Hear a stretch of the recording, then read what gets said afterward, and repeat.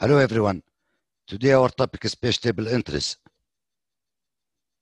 In the previous videos, we discussed paging and the methods used to implement page table. The main function of the page table is to store where each logical page is stored in physical memory. And in each memory reference, we have to access the page table to find out where the address logical page is stored. The frame number is read from the page table and concatenated with the page offset to obtain the physical address. The number of bits required in the frame number field depends on the number of frames and is equal to the size of physical memory divided into frame size. So number of bits for frame equals to size of physical memory divided into frame size. This field is required in all page tables. Page table has additional optional entries and they are usually called status bits.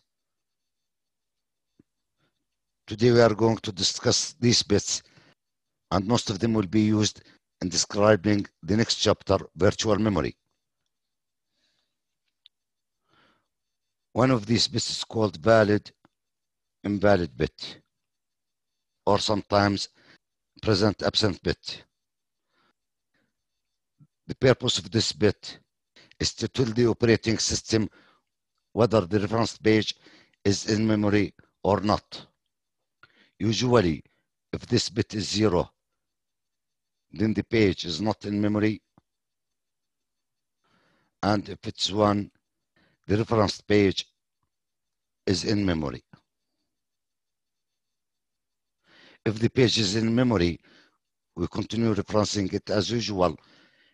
If, however, the page is not in memory, then we have to bring it from the backing store. And this bit is useful for implementing virtual memory. Another bit or bits is the protection bit or bits. It informs the operating system what kind of protection we need for this page. For example, read only, read write, read write execute, etc. The next bit that some operating system use is the reference bit. If this bit is zero, then this page has not been referenced. And if it is one, then this page has been referenced. Few operating systems use more than one reference bit. The next bit is for caching, caching enabled or disabled. Sometimes we need fresh data. For example, if the main memory contains the latest information entered by the user, now if you try to put this page in the cache, that cache will show the old information.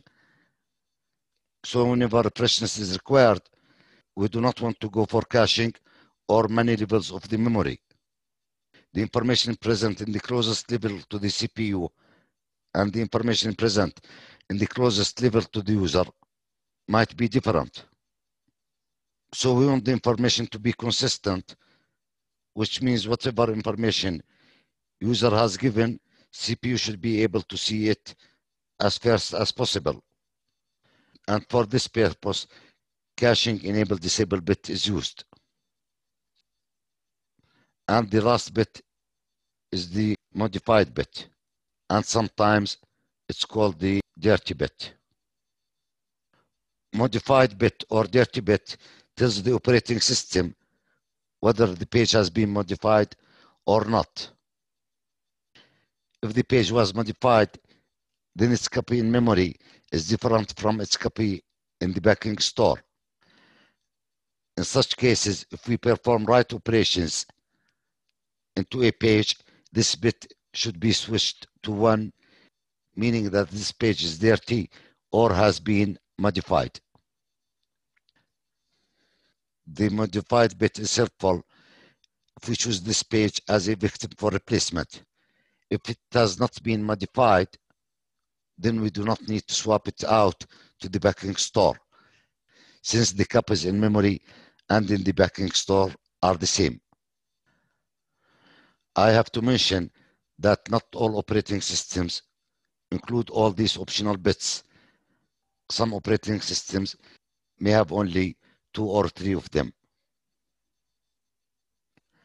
Before starting the next chapter, virtual memory, I have to mention that paging supports shareable pages. In this case, the same frame number may be included in different page tables for different processes. And therefore, we do not need to have different copies of the same page in memory. The page is stored in one frame that can be used by different processes. For today, that's all. Thank you.